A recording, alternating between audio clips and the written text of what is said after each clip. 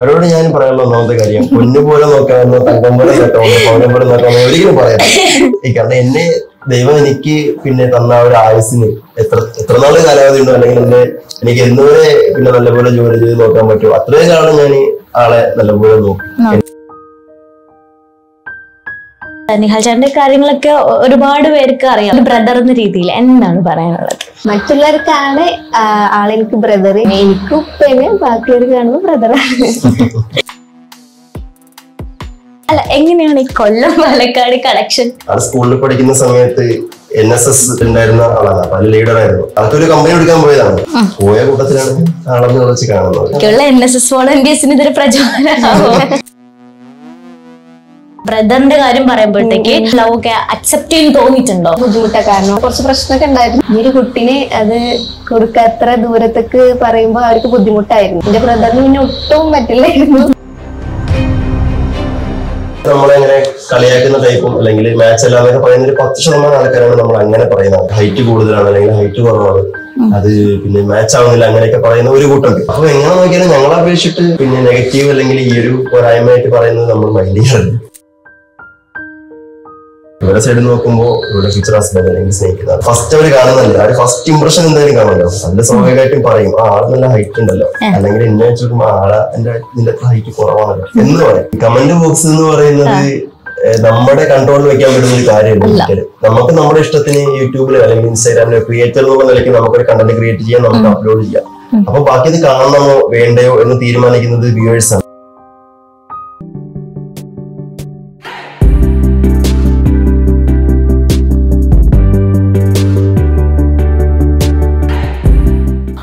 കേരളത്തിലെ മറ്റൊരു എപ്പിസോഡിലേക്ക് സ്വാഗതം. അപ്പൊ ഇന്ന് എന്റെ കൂടെ ഉള്ളത് നവമിഥുനങ്ങളാണ് ഈ ഇടെ കല്യാണം കഴിഞ്ഞ നിജാസിക്കയും ചക്രയാണ് എന്റെ കൂടെ ഉള്ളത്. ഒരു ഫാമിലി ഫുൾ യൂട്യൂബേഴ്സ് ആണ്. അപ്പം രണ്ടുപേർക്കും വെൽക്കം ടു ദ ഷോ കല്യാണം കഴിഞ്ഞിട്ട് ഇപ്പൊ കുറച്ച് ദിവസമായിട്ട് രണ്ടു ദിവസമൊക്കെ ആയിട്ടുള്ളൂ. അപ്പൊ എന്താണ് കല്യാണ വിശേഷങ്ങളൊക്കെ? കല്യാണ വിശേഷങ്ങൾ ഇപ്പോഴും നിലവിൽ കല്യാണ ചൂടിൽ തന്നെയാണ്. അപ്പൊ നമ്മുടെ ഇത്ര ലോങ് ആയതുകൊണ്ട് പാലക്കാട് എന്റെ കൂടെ കൊല്ലമാണ്. അപ്പൊ ഫസ്റ്റ് കല്യാണം പാലക്കാട് വെച്ചായിരുന്നു. രണ്ടാമത്തെ കല്യാണം ഇനിയിപ്പോ നമ്മൾ ഇവിടെ വെച്ച് അറേഞ്ച് ചെയ്തിട്ടുണ്ട്. അപ്പൊ ഇനി ഒരു മൂന്ന് ദിവസം കഴിഞ്ഞിട്ടാണ് ഉള്ളത് അപ്പൊ ഇപ്പോഴും ഞാൻ ആദ്യം പറഞ്ഞ പോലെ തന്നെ ഒരു കല്യാണ ചൂടിൽ പോയിക്കൊണ്ടിരിക്കുകയാണ്. അപ്പൊ ഭയങ്കര തിരക്കും കാര്യങ്ങളൊക്കെ ആയിട്ട് നിൽക്കുന്ന സമയത്താണ് നമ്മളെ കണ്ടത്. അപ്പൊ ശരിക്കും ഒരു ലവ് മാരേജ് ആയിരുന്നല്ലോ? പാലക്കാട് നിന്ന് കൊല്ലത്തേക്ക് വരാണെങ്കിൽ ആ ലവ് സ്റ്റോറി ഞങ്ങൾക്ക് അറിയണം. അപ്പൊ എങ്ങനെയാണ് ലവ് സ്റ്റോറി ലവ് സ്റ്റോറിയുടെ തുടക്കം എന്ന് പറയുന്നത് ആൾ പഠിക്കുന്ന സ്കൂളിൽ നിന്ന് തന്നെയാണ്. അല്ല എങ്ങനെയാണ് ഈ കൊല്ലം പാലക്കാട് കളക്ഷൻ ഓക്കെ ഞാൻ ഇതിലേക്ക് വരാം. അതായത് ഇപ്പോ ആൾ സ്കൂളിൽ പഠിക്കുന്ന സമയത്ത് എൻ എസ് എസ് അതായത് എൻ എസ് എസ് ആ ഒരു കമ്മ്യൂണിറ്റി അല്ലെ അതിലുണ്ടായിരുന്ന ആളാണ്. അപ്പൊ അതിൽ ലീഡർ ആയിരുന്നു. അപ്പോ പിന്നെ നമ്മൾ സ്നേഹിക്കുന്ന ടൈമിൽ തന്നെ പക്ഷെ സോറി സ്നേഹിക്കുന്നതിന് മുന്നേ അതിന് തന്നെ പിന്നീട് ഒരു ക്യാമ്പ് ഒരു എൻ എസ് എസിന്റെ ക്യാമ്പ് ഉണ്ടായിരുന്നു. അപ്പൊ ഈ ക്യാമ്പിന്റെ ഭാഗമായിട്ട് നമ്മൾ ഇവിടെ നിന്നൊരു ഒരു സാറ് ഇവിടെ നിന്ന് പോയിട്ടുണ്ടായിരുന്നു അപ്പൊ ആളെന്റെ കൂട്ടുകാരനാണ്. അപ്പൊ ആളെ കൂടെ ഞാൻ പിന്നെ ആൾക്കൊരു കമ്പനി എടുക്കാൻ പോയതാണ്. കാരണം കൊല്ലം ടു പാലക്കാട് ട്രെയിനിലാണ് പോയത്. അപ്പൊ അവിടെ ഒറ്റയ്ക്കല്ലേ പോകുന്നത് അപ്പൊ ആ ഒരു ബോറിംഗ് വരാതിരിക്കാൻ വേണ്ടി ഞാൻ പിന്നെ പുള്ളിക്കാരന്റെ കൂടെ കമ്പനിക്ക് പോയതാണ്. അപ്പൊ ആൾക്ക് അവിടെ ഒരു ക്യാമ്പിന്റെ ഭാഗമായിട്ട് എന്തോ ആവശ്യം ഉണ്ടായിരുന്നു അവിടെ ഒന്ന് ക്യാമ്പ് ഒന്ന് നോക്കാൻ നോക്കി കാണാനും എന്തോ അറ്റസ്റ്റ് ചെയ്യാനൊക്കെ ആവശ്യം ഉണ്ടായിരുന്നു അപ്പൊ അവിടെ കൂടെ ഞാൻ പോയി. പോയ കൂട്ടത്തിലാണ് ആളെന്ന് വിളിച്ച് കാണുന്നത്. അപ്പൊ അങ്ങനെയാണ് ഒരു കണക്ഷൻ വന്നത്. അല്ലെ? കൊണ്ടുപോയി ചങ്ങായിക്ക് ഇതൊക്കെ അറിയോ? കൊണ്ടുപോയ നമ്മൾ എന്റെ കൂടെ ആൾക്ക് അന്ന് മനസ്സിലായില്ല. പക്ഷെ ഞാൻ തിരിച്ചു വരുമ്പോ ഞാൻ കാര്യം പറഞ്ഞു. ഫസ്റ്റ് ദിവസം ഞാൻ പ്രത്യേകിച്ചൊന്നും പറയാൻ നിന്നില്ല. തിരിച്ചു പിന്നെ നമ്മളിപ്പോ കൊല്ലത്ത് പക്ഷെ പാലക്കാട് നിന്ന് കൊല്ലത്തേക്ക് വരികയല്ലേ? എട്ട് മണിക്കൂർ സമയമുണ്ടല്ലോ ഇതൊരു. ബാക്കിയുള്ള എൻ എസ് എസ് വോളണ്ടിയേഴ്സിന് ഇതൊരു പ്രചോദനമാവോ. കാണാൻ പറ്റിയ ഒരു സമയം. അത്ര ഉദ്ദേശിക്കുന്നു. അല്ല നമ്മൾ പാലക്കാട് നിന്ന് കൊല്ലത്തേക്ക് വരാണ്. അപ്പൊ ഒരു ഡിഫറൻസ് ഫീൽ ചെയ്യില്ലേ? ശരിക്കും നല്ല വ്യത്യാസങ്ങളുണ്ട്. എന്താണ് ആ വ്യത്യാസങ്ങൾ? ഞങ്ങൾ തമ്മിൽ ഹൈറ്റ് വ്യത്യാസമുണ്ട്. പിന്നെ ഈ ലോങ് ഒരുപാടാണ്. പിന്നെ പറയാനാണെങ്കിൽ സ്ലാങ് നല്ല വ്യത്യാസമുണ്ട്. ആ. രണ്ടാൾക്കും കുറച്ച് കാര്യങ്ങളൊക്കെ പിടിയിട്ടാൻ സമയെടുത്തു. എടുത്തു സമയം എടുക്കും അല്ലേ? അപ്പൊ ഇപ്പൊ കല്യാണ തിരക്കിൽ നിൽക്കാന്ന് പറഞ്ഞല്ലോ. കല്യാണത്തിൽ ഒരുപാട് യൂട്യൂബേഴ്സ് എന്താ ഒരുപാട് സോഷ്യൽ മീഡിയ ഉണ്ടായിരുന്നു. അപ്പൊ അങ്ങനെ നിങ്ങൾ എക്സ്പെക്ട് ചെയ്തിരുന്നു ശരിക്കും ഇത്രയും ആൾക്കാർ വരും എന്നൊക്കെ ഇല്ല. നമ്മൾ ഓൾറെഡി കുറച്ച് ആൾക്കാരെ വിളിച്ചിട്ടുണ്ടായിരുന്നു. അതിനല്ലാതെ കുറച്ച് ആൾക്കാർ വന്നു എന്നാണ് തോന്നിയത്. നമുക്ക് രണ്ടാക്കും അവിടെ നിൽക്കുന്നതുകൊണ്ട് അത്ര ആൾക്കാരെ അറിയുന്നില്ല. പക്ഷെ അറിയുന്നത് ഇപ്പൊ എന്റെ ബ്രദറിനെ ആവും. അവരല്ലേ അത് മാനേജ് ചെയ്തിരുന്നത്. അല്ല ഒരു ഫാമിലി ഫുൾ യൂട്യൂബേഴ്സ് ആണ്. പറയാതിരിക്കാൻ വയ്യ. അപ്പൊ അങ്ങനെ ഒരു ഫാമിലി ഫുൾ യൂട്യൂബേഴ്സ് ഒക്കെ ആകുമ്പോഴത്തേക്ക് ഒരുപാട് ആൾക്കാർ വന്നിരുന്നു അല്ലേ? അപ്പൊ ഇത്രയും ഒരിക്കലും എക്സ്പെക്ട് ചെയ്യാത്ത രീതിയിൽ വന്നിരുന്നു. അപ്പൊ അങ്ങനെയൊക്കെ പറയുമ്പോഴത്തേക്ക് നമുക്ക് ഭയങ്കര സന്തോഷം തോന്നും. അല്ലേ? അങ്ങനെ തോന്നിയിട്ടുണ്ടോ നിങ്ങക്ക്? അതിപ്പോ പിന്നെ യൂട്യൂബേഴ്സ് കുറച്ച് ആൾക്കാരെ വരും എന്ന് മുന്നേ അറിയാമായിരുന്നു. പക്ഷെ ഇത്രയും ആൾക്കാർ അല്ലെങ്കിൽ ഇത്രയും പിന്നീട് യൂട്യൂബേഴ്സ് നമുക്ക് വേണ്ടിയിട്ട് നമ്മുടെ ഒരു ഫംഗ്ഷൻ ആണല്ലോ. അപ്പൊ അവരെ ക്ഷണിക്കുക എന്നുള്ളത് നമ്മളെ മര്യാദ. അല്ലെങ്കിൽ പിന്നെ അത് നമ്മുടെ ഒരു ഭാഗമാണ്. നമ്മുടെ കല്യാണം വിളിക്കുന്നതിന്റെ ഭാഗമാണ്. അപ്പൊ യൂട്യൂബേഴ്സ് അല്ലെങ്കിൽ കുറച്ച് അത്യാവശ്യം സെലിബ്രിറ്റി സ്റ്റാറ്റസ് ഉള്ള ആൾക്കാരുള്ള നിലയ്ക്ക് ഓരോരുത്തർക്ക് അവരുടെ തിരക്കുകൾ കാര്യങ്ങളൊക്കെ ഉണ്ടാവും. അപ്പൊ ആ ഒരു തിരക്കിനിടയിലും നമ്മുടെ ആ ഒരു കല്യാണത്തിന് ഒന്ന് കൂടാനും അതേപോലെ തന്നെ അവരുടെ ഫാമിലിയൊക്കെ ആയിട്ട് വരാനും അല്ലെങ്കിൽ ഒരു പത്ത് അല്ലെങ്കിൽ പതിനഞ്ച് മിനിറ്റ് നമ്മളോടൊപ്പം ചെലവഴിക്കാനൊക്കെ അവരൊരു മനസ്സ് വെച്ചല്ലോ നമുക്ക് വേണ്ടിട്ട് ഏറ്റവും വലിയ സന്തോഷം. സന്തോഷമുണ്ട്. ഒരു കുറെ കമന്റ്സ് ഞാൻ കണ്ടിട്ടുണ്ട്. കുറെ കമന്റ്സിൽ ഞാൻ ഒന്ന് രണ്ട് കാര്യങ്ങൾ പറയാം. ഒന്നിലിപ്പോ പറഞ്ഞ ചക്കര പറഞ്ഞ പോലെ ഹൈറ്റിന്റെ വ്യത്യാസം പറഞ്ഞിട്ടുണ്ട്. അപ്പൊ നിങ്ങക്ക് അതിനെ കുറിച്ച് ഇപ്പൊ ഒരു റിപ്ലൈ കൊടുക്കണം എന്നുണ്ടെങ്കിൽ എന്തായിരിക്കും പറയാ? തീർച്ചയായിട്ടും അതിനെപ്പറ്റി പറഞ്ഞു തരണമെന്നുണ്ടെങ്കിൽ നമ്മൾ സ്നേഹിച്ച് തുടങ്ങിയ ടൈം മുതൽ തന്നെ നമ്മളിപ്പോ ഇൻസ്റ്റാഗ്രാമിലായാലും പിന്നെ നമ്മൾ സ്റ്റോറി കാര്യങ്ങളൊക്കെ ഇടുമല്ലോ അല്ലെങ്കിൽ പോസ്റ്റ് കാര്യങ്ങളൊക്കെ ഇടുമല്ലോ അപ്പൊ ഒരുപാട് പേര് പബ്ലിക് പ്ലാറ്റ്ഫോം ആണല്ലോ ഇൻസ്റ്റാഗ്രാം അതുപോലെ തന്നെ യൂട്യൂബ് എന്ന് പറയുന്നത്. അപ്പൊ അവരൊന്ന് തെറ്റ് പറയും പിന്നെ ഹൈറ്റ് കൂടുതലാണ് അല്ലെങ്കിൽ ഹൈറ്റ് കുറവാണ്. അത് പിന്നെ മാച്ച് ആവുന്നില്ല അങ്ങനെയൊക്കെ പറയുന്ന ഒരു കൂട്ടം പേര്. മറ്റൊരു കൂട്ടം പേര് പിന്നെ ടോൾ ബോയ് ഷോർട്ട് ഗേൾ പോകും അതിനെ സപ്പോർട്ട് ചെയ്യുന്ന കുറെ ആൾക്കാരുണ്ട്. അപ്പോ ആദ്യം പറഞ്ഞ ആൾക്കാർ അതായത് നമ്മളെങ്ങനെ കളിയാക്കുന്ന ടൈപ്പും അല്ലെങ്കിൽ മാച്ച് അല്ല എന്നൊക്കെ പറയുന്ന ഒരു പത്ത് ശതമാനം ആൾക്കാരാണ് നമ്മൾ അങ്ങനെ പറയുന്ന ആൾക്കാർ ബാക്കി തൊണ്ണൂറ് ശതമാനം നമ്മൾ സപ്പോർട്ട് ചെയ്യുന്ന നമ്മൾ ഒരുപാട് കൂടെ നിൽക്കുന്ന ആൾക്കാരാണ്. അപ്പൊ എങ്ങനെ നോക്കിയാലും ഞങ്ങളെ അപേക്ഷിച്ചിട്ട് ഈ ഒരു പിന്നെ നെഗറ്റീവ് അല്ലെങ്കിൽ ഈ ഒരു പോരായ്മയായിട്ട് പറയുന്നത് നമ്മൾ മൈൻഡ് ചെയ്യാറില്ല ഇല്ല. കാരണം അങ്ങനെ നോക്കാൻ നമ്മൾ പിന്നെ അതിന്റെ മുന്നോട്ട് ഒരുപാട് നോക്കേണ്ടത് ആ, അത് ശരിയാണ്. കമന്റ് ബോക്സ് എപ്പോഴും നോക്കാത്തായിരിക്കും നല്ലത് എന്നാൽ കമന്റ് ബോക്സ് നോക്കുമ്പോഴായിരിക്കും കുറെ കാര്യങ്ങൾ നമ്മൾ ശ്രദ്ധിക്കല്ലേ ഞാൻ പറഞ്ഞത് കമന്റ് ബോക്സ് നോക്കാറില്ല എന്നല്ല. ഞാൻ സാധാരണ ഇപ്പൊ എന്റെ യൂട്യൂബ് ചാനലായാലും ഞാൻ കമന്റുകളെല്ലാം വായിക്കും. പെട്ടെന്ന് കഴിവിന്റെ പരമാവധി ഞാൻ എന്റെ ഭാഗത്തുനിന്ന് റിയാക്ഷൻ കൊടുക്കുന്നതാണ് അപ്പൊ ഈ കമന്റ് ഇടുന്നവർ പ്രത്യേകം ശ്രദ്ധിക്കുക. നിങ്ങൾ എന്ത് ഇട്ടാലും ഇവർ രണ്ടുപേരും വായിക്കുന്നവരാണെങ്കിൽ സ്കിപ്പ് ചെയ്യുന്ന ആൾക്കാരെല്ലാം അത് ഇപ്പൊ മനസ്സിലാക്കുക. അപ്പൊ ഇങ്ങനെ കമന്റും കാര്യങ്ങളൊക്കെ വരുമ്പോ എനിക്ക് മറ്റൊരു കാര്യം. നിങ്ങളെ നിങ്ങളുടെ വീഡിയോ എക്സ്പെക്ട് ചെയ്തിരിക്കുന്ന ഒരുപാട് ആൾക്കാരുണ്ട്. ഇല്ലേ? ചക്കര കാണണം. ശരിക്കും ചക്കര എന്നാണ് എല്ലാരും വിളിക്കുന്നത്. ശരിക്കുള്ള പേര് ഇപ്പൊ പറഞ്ഞോ യൂട്യൂബേഴ്സിനെ അവരടുത്ത് പറഞ്ഞോ? ഇപ്പൊ പേര് ഷഹന ഷെറീഫ് ആ ഷഹന എന്നാണ് അപ്പം എല്ലാരും കമന്റ് കണ്ടാൽ അറിയില്ല. എല്ലാരും ചക്കരയാണ് ചക്കര വിളിക്കണേ. അപ്പൊ അങ്ങനെ വിളിച്ച് പറയാറുണ്ട് ചക്കരയെ കണ്ടില്ലല്ലോ അല്ലെങ്കിൽ എന്താണ് കാണാൻ ഇവിടെ വന്നിട്ട് എങ്ങനെ അവർക്ക് അറിയാൻ കുറെ വിശേഷങ്ങളുണ്ട്. അപ്പൊ അങ്ങനെ ഇവിടെ വന്നപ്പം എന്തെങ്കിലും ഒരു ഡിഫറൻസ് ഫീൽ ചെയ്തോ? കാരണം ഈ ബ്രദറിന്റെ കാര്യം പറയുമ്പോഴത്തേക്ക് പുള്ളിക്കാരൻ ഇങ്ങനെ ആദ്യം ലവ് ഒക്കെ അക്സെപ്റ്റ് ചെയ്ത് തോന്നിയിട്ടുണ്ടോ? ഇല്ല അക്സെപ്റ്റ് ചെയ്തിരുന്നില്ല. വീട്ടിൽ കുറച്ച് പ്രശ്നമൊക്കെ ഉണ്ടായിരുന്നു. ആദ്യമൊക്കെ നല്ല പ്രശ്നം തന്നെയായിരുന്നു. കാരണം അവർക്ക് ഇത്ര ലോങ് പറയുന്നത് ബുദ്ധിമുട്ടാണ് കാരണം ഓൾറെഡി എനിക്കൊരു സിസ്റ്റർ ഉണ്ട്. ബ്രദറിന്റെ തൊട്ട് മുകളിൽ ഒരാളും കൂടി ഉണ്ട്. അപ്പോ അവൾ സേലാണ് തമിഴ്നാടാണ്. അപ്പൊ ഓൾറെഡി ഒരു കുട്ടീനെ അങ്ങോട്ട് കൊടുത്തുകൊണ്ട് ഈ ഒരു കുട്ടീനെ അത് കൊടുക്കാത്ര ദൂരത്തേക്ക് പറയുമ്പോ അവർക്ക് ബുദ്ധിമുട്ടായിരുന്നു ആദ്യമൊക്കെ എന്റെ ബ്രദറിന് പിന്നെ ഒട്ടും പറ്റില്ലായിരുന്നു. ആദ്യം ഒട്ടും സമ്മതിച്ചിരുന്ന പിന്നെ ഒരു എൻഗേജ്മെന്റിന്റെ ഒരു ഒരു വൺ ഒരു വൺ മന്തിലെ ആ സമയത്തായിട്ട് എല്ലാരും സംസാരിച്ച് പിന്നെ റെഡിയായി ആയി. എല്ലാം റെഡിയാക്കി അല്ലേ? ദൂരം ഒന്നും പ്രശ്നമില്ല അല്ലേ? ആ ഒരു രീതിയിൽ സെറ്റാക്കി എടുത്തു. സെറ്റാക്കി എടുത്തു. അപ്പം കല്യാണ കാര്യത്തിലേക്ക് വരുമ്പോ എൻഗേജ്മെന്റ് കഴിഞ്ഞിട്ട് കുറെ നാൾ കഴിഞ്ഞിട്ടാണോ വിവാഹത്തിലേക്ക് എത്തിയത്? എന്തോ അങ്ങനെ? അതായത് പിന്നെ നമ്മൾ പ്രണയിച്ച് ഒരു വർഷം കഴിഞ്ഞപ്പോ നമ്മുടെ എൻഗേജ്മെന്റ് കഴിഞ്ഞു. എൻഗേജ്മെന്റ് കഴിഞ്ഞ് കല്യാണത്തിലേക്ക് വരാനുള്ള ദൂരം രണ്ടു വർഷമായിരുന്നു അപ്പൊ ഈ ഒരു രണ്ടു വർഷത്തെ ഒരു പീരീഡ് വരാൻ കാരണം വേറൊന്നുമില്ല. ഒന്നാമത്തെ കാര്യം ഞാൻ ഗൾഫിലായിരുന്നു.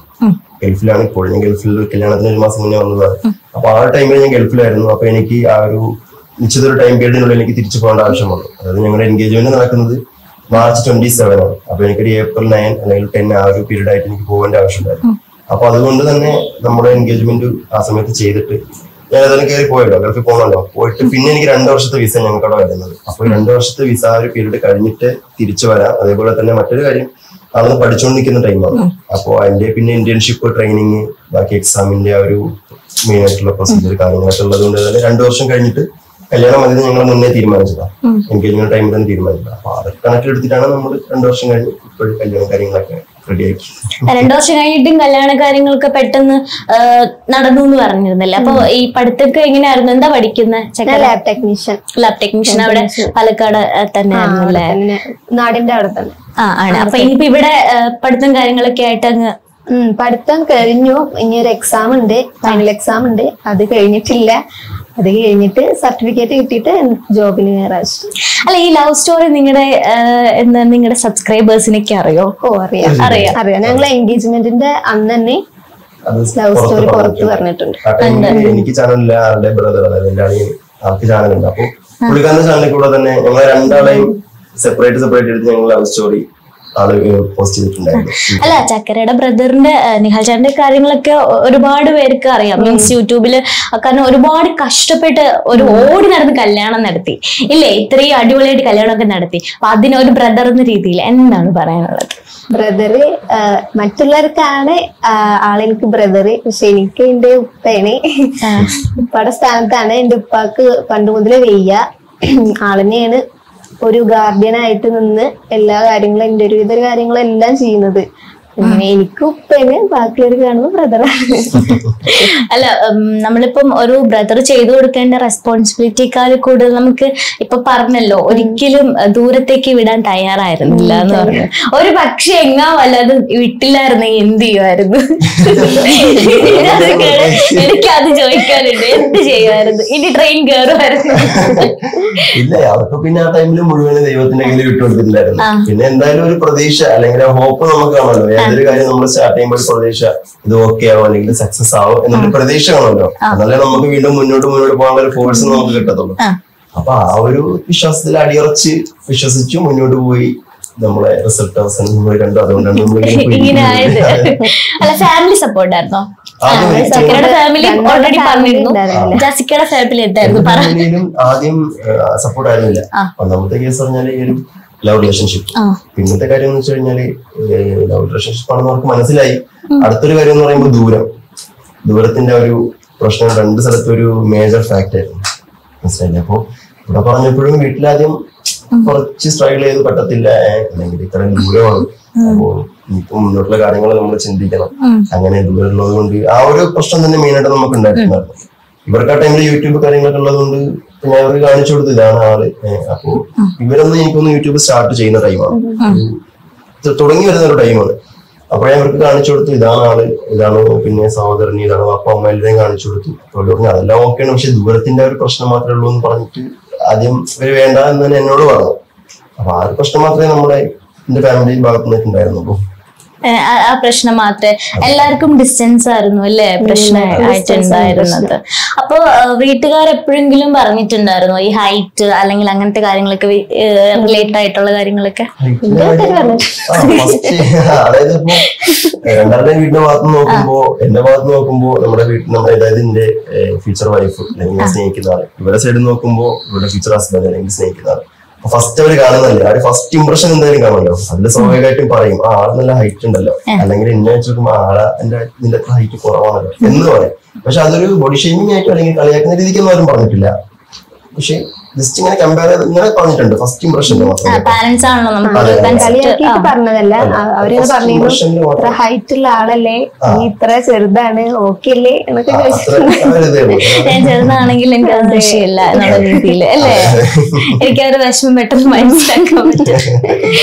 അപ്പൊ അതുകൊണ്ട് ഇപ്പം ഇനി ഇങ്ങനെ കല്യാണക്കാരൻ കല്യാണമൊക്കെ കഴിഞ്ഞ് അടിപൊളിയായിട്ട് കഴിഞ്ഞ് ഇങ്ങനെ അങ്ങ് എന്താ അതിന്റെ ജേണി അങ്ങ് പൊക്കോണ്ടിരിക്കുകയാണ് അതെ. അപ്പം അങ്ങനെ പൊക്കോണ്ടിരിക്കുന്ന സമയത്ത് ഈ കല്യാണം കഴിഞ്ഞിട്ട് ഇറങ്ങൂല്ലേ? അവിടെ നിന്ന് പാലക്കാട് നിന്ന് ഇറങ്ങാണ്. അപ്പൊ അതിലൊരു കമന്റ് ഉണ്ടായിരുന്നു ഉപ്പാന എന്താ യാത്ര പറഞ്ഞിരുന്നില്ല.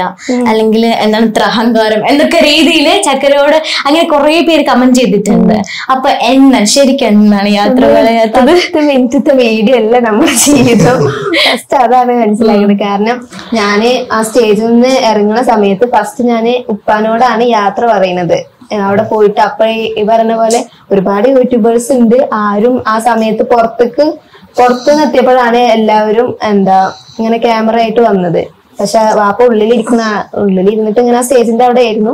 ആ സമയത്ത് ഞാൻ പോയിട്ട് ഫസ്റ്റ് പറഞ്ഞത് വാപ്പാനോടാണ്. പോവുകയെന്ന് പറഞ്ഞ് ഹഗ് ചെയ്തിട്ട് ആണ് പോയത്. പിന്നെ ആൾക്കിപ്പോ നല്ല എന്താ ഇങ്ങനെ വയറിന് കുറച്ച് പ്രശ്നമുണ്ട്. അതിന്റെ കുറച്ച് ബുദ്ധിമുട്ടുകളൊക്കെ ഉണ്ട്. അപ്പൊ ആൾക്ക് മനസ്സിലായിട്ടില്ല ഞാൻ വേറെ വീട്ടിലേക്ക് പോവുകയാണെന്ന് മനസ്സിലായിട്ടില്ല. ഞാൻ എന്റെ വീട്ടിലേക്ക് തന്നെ തിരിച്ചു പോവുകയാണെന്ന് മനസ്സിലാക്കിയിട്ടാ തോന്നുന്നു. അങ്ങനെ വലിയ കാര്യമായിട്ട് മനസ്സിലായില്ല. പിന്നെ കാക്കുവിന്റെ കൂടെ എന്താ കാറിൽ കയറുന്ന സമയത്താണ് മനസ്സിലായി തോന്നുന്നത് നേരെ വീട്ടിൽ പോവുകയാണ് എന്നുള്ളത്. പപ്പിക്ക് ഹെൽത്ത് ഇഷ്യൂസ് ഒക്കെ ഉണ്ടായിരുന്നു. എന്താ പറ്റിയ? വാപ്പാക്ക് ഇപ്പൊ അൾസർ അൾസറാണ് അപ്പൊ ഫുഡ് കഴിക്കുന്നത് കറക്റ്റ് അല്ല. ഫുഡ് കഴിച്ചാലും അത് ഛർദിയായിട്ട് പുറത്ത് വരും. ഛർദിച്ചിട്ട് പുറത്ത് വരും. അപ്പോ സോഡിയം കുറവുണ്ട്. ഭക്ഷണം കറക്റ്റ് ആയിട്ട് പോകണില്ലല്ലോ സോഡിയത്തിന്റെ പ്രശ്നങ്ങളൊക്കെ ഉണ്ട്. അതുകൊണ്ടാണ് തോന്നുന്നു മനസ്സിലായിട്ടില്ല തോന്നുന്നു. പക്ഷെ ഇന്നലെ വീഡിയോ കോൾ ചെയ്തപ്പോഴാണ് ആളൊന്ന് ചികിത്സയൊക്കെ കണ്ടിരിക്കുന്നത് ആ സമയത്തൊന്നും പറഞ്ഞില്ല. ആ ഈ ഞാൻ നിങ്ങളുടെ ഒരു വ്ലോഗ് കണ്ടിട്ടുണ്ടായിരുന്നു. പാലക്കാടത്തെ ചിക്കൻ കറി ഇവിടത്തെ ചിക്കൻ കറി തമ്മിൽ ഡിഫറൻസ് ശരിക്കും അങ്ങനെ ഡിഫറൻസ് ഉണ്ടെന്ന് പറഞ്ഞു. ഉണ്ടാവും നോക്കാനാ അതെ. കുക്ക് ചെയ്യിപ്പിച്ചോ ഇപ്പൊ പറയാൻ പറ്റിയ ഒരു അവസരമാണ് കുക്ക് ചെയ്യിപ്പിച്ചോ എന്താ ചിക്കൻ കറിയുടെ ടേസ്റ്റ് ഒക്കെ അറിയണമെന്നൊക്കെ പറഞ്ഞിട്ട്. ചിക്കൻ കറി ടേസ്റ്റ് ഞാൻ ചോദിച്ചു. ഇന്നലെ പിന്നെ നമ്മളെ വീഡിയോ ബ്ലോഗ് ഷൂട്ട് ചെയ്തിട്ട് ചോദിച്ചു. ഇത് പിന്നെ പാലക്കാടത്തെ ചിക്കൻ കറി എങ്ങനെയാണോ എന്ന് ചോദിച്ചു. പക്ഷെ സ്മെല്ല് കാര്യങ്ങളൊക്കെ എങ്ങനെയാണ് അതൊക്കെ ഒന്ന് കുക്ക് ചെയ്ത് നോക്കണം ഫുഡൊക്കെ ഓക്കെ ആണോ? കുഴപ്പമില്ല. കുഴപ്പമില്ല. ഒന്നും പറയാൻ അല്ല നമുക്കിപ്പോ ഏത് വീട്ടിൽ പോയാലും നമ്മളിപ്പോ തൊട്ട വീട്ടിൽ പോയാലും നമുക്ക് ഫുഡിന് വ്യത്യാസം ഉണ്ടാവും നമ്മൾ തൊട്ട വീട്ടാണെങ്കിൽ പോലും നമുക്ക് ഫുഡിന് വ്യത്യാസം നമ്മുടെ വീട്ടിൽ നിന്ന് കിട്ടുന്നതിന് അപേക്ഷിച്ച് വ്യത്യാസം ഉണ്ടാവും. ഇവിടെ ആവുമ്പോ കുറച്ചിത്ര ലോകം ആയതുകൊണ്ട് ഒന്നും കൂടി വ്യത്യാസം ഉണ്ടാവും. പക്ഷെ ഞാൻ അങ്ങനല്ല എല്ലാ ഫുഡും കഴിക്കും. പ്രശ്നം പരാതി ഒന്നും ഇല്ലാത്ത ഒരാളാണ്. അതുകൊണ്ട് പ്രശ്നമൊന്നുമില്ല. ഒരു പ്രശ്നമില്ല. സങ്കടം പറയില്ല. നിജാസിക അപ്പൊ ഇങ്ങനെ വരുമ്പോ യൂട്യൂബ് തുടങ്ങാനുള്ള ഒരു പ്രചോദനം ഓൾറെഡി ആളുടെ ഫാമിലി ഫുൾ അത് തന്നെയാണ്. അപ്പൊ എനിക്ക് അങ്ങനെ ഒരു ക്വസ്റ്റ്യൻ ചോദിക്കുന്ന വെച്ചാൽ എങ്ങനെയാണ് ഇതിലോട്ട് എത്തപ്പെട്ടത്? അതൊന്നും എനിക്ക് അറിയണമെന്നുണ്ട് എനിക്ക് മാത്രമല്ല കേട്ടോ എല്ലാവർക്കും അറിയണമെന്നുണ്ട്. അതായത് ഇപ്പോ അതിന്റെ സ്റ്റാർട്ടിങ് പറയണമെന്നുണ്ടെങ്കിൽ എന്ത് ആരാണ് എന്നെ ഇത്രയും സപ്പോർട്ട് ചെയ്തത്? അല്ലെങ്കിൽ ആരാണ് എനിക്ക് അത്രയും പ്രചോദനമായെന്ന് ചോദിച്ചാൽ ആളുടെ ബ്രദർ തന്നെയാണ്. അപ്പൊ നൗഫൽ തന്നെയാണ് എനിക്ക് അത്രയും പ്രചോദനം ആൾ മുന്നേ എന്നോട് ചോദിച്ചിട്ടുണ്ടായിരുന്നു. അതായത് പിന്നെ ഫ്യൂച്ചറിൽ യൂട്യൂബ് എന്തെങ്കിലും തുടങ്ങാൻ പ്ലാൻ ഉണ്ടോ? അത് രണ്ടു വർഷം മുന്നേ. അപ്പൊ ആൾ ചോദിച്ചപ്പോ ഞാൻ പറഞ്ഞു ഏ ഇല്ല ഇല്ല. അതൊക്കെ ഫ്യൂച്ചറിലെ കാര്യങ്ങളല്ലേ. അതൊക്കെ അപ്പോഴും ചിന്തിക്കാലോ. ഇപ്പോഴൊന്നും താല്പര്യമില്ല എന്ന് ഞാൻ പറഞ്ഞു. പിന്നെ വരി വരി വരി ഇങ്ങനെ വന്നുകൊണ്ടിരുന്നപ്പോ തന്നെ നമ്മുടെ അറിയുന്ന യൂട്യൂബിൽ തന്നെ ഒരുപാട് ആൾക്കാർ ഇങ്ങനെ കമന്റ് ഇടും അതായത് പിന്നെ ചക്കരനെ കല്യാണം കഴിച്ചിട്ട് പോയാൽ അവിടുത്തെ വിശേഷങ്ങൾ കാണണമല്ലോ അല്ലെങ്കിൽ അവിടുത്തെ കാര്യങ്ങൾ കാണണമല്ലോ ഇനിയിപ്പോ അത് പറ്റത്തില്ലല്ലോ എന്നൊക്കെ പറഞ്ഞ് ഒരുപാട് ആൾക്കാർ കമന്റ് ഇടും. അപ്പൊ അതിനകത്ത് നമുക്ക് മനസ്സിലാക്കാം നമ്മളെ പിന്നെ ഇവിടുത്തെ വിശേഷങ്ങൾ ഇട്ടാൽ അത് കാണാൻ ഒരുപാട് ആൾക്കാർ ഇപ്പോഴും ആക്റ്റീവ് ആയിട്ടുണ്ടെന്ന് മനസ്സിലായപ്പോ തന്നെയാണ് ഞാൻ യൂട്യൂബ് ചാനൽ സ്റ്റാർട്ട് ചെയ്തത്. ചെയ്ത് നോക്കി പക്ഷെ അത് സക്സസ് ആയില്ലേ? തീർച്ചയായിട്ടും പക്ഷെ പെട്ടെന്നാണ് ആ ഒരു യൂട്യൂബ് എന്തല്ലേ? ആൾക്കാരൊക്കെ നിങ്ങളെ ശ്രദ്ധിക്കാനും. ഒരുപാട് ഒരു ഫാമിലി ക്രിയേറ്റ് ചെയ്തെടുക്കാൻ പറ്റി. അങ്ങനെ അങ്ങനെ വരുമ്പോ അതൊരു വലിയ കാര്യം തന്നെയാണ്. ഫുള്ള് തിരക്കിലാണ് യൂട്യൂബിന്റെ തിരക്കിലായിരിക്കും എല്ലാരും അപ്പൊ ഇനി പോകുമ്പോ എന്ത് ചെയ്യും? എല്ലാം ചക്കരയുടെ കയ്യിൽ ഏൽപ്പിച്ചിട്ട് ഞാൻ പോവാണ്. ചക്കര പിന്നെ ആദ്യമായിട്ടല്ലോ ചക്കരയ്ക്ക് അതൊരു പുത്തിരിയായിട്ടല്ലോ വലിയൊരു സ്ഥലത്ത് നിന്ന് ചെറിയൊരു സ്ഥലത്തേക്കല്ലേ വന്നത്? അതായത് വലിയൊരു ബ്ലോഗിനുള്ളിൽ നിന്ന് ചെറിയൊരു ബ്ലോഗിലേക്ക് ഇത് ഹാൻഡിൽ ചെയ്യാൻ പറ്റുന്നതല്ലേ ഉള്ളൂ?